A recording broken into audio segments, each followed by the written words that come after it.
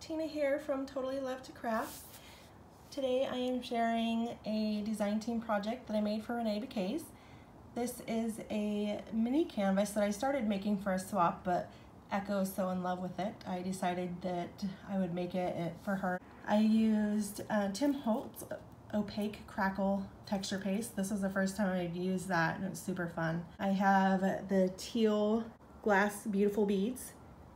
We have mulberry flowers and we have here the skeleton leaf beautiful bits, the rose gold beautiful beads, a beautiful lace, and of course the pegacorn from Reneabouquets.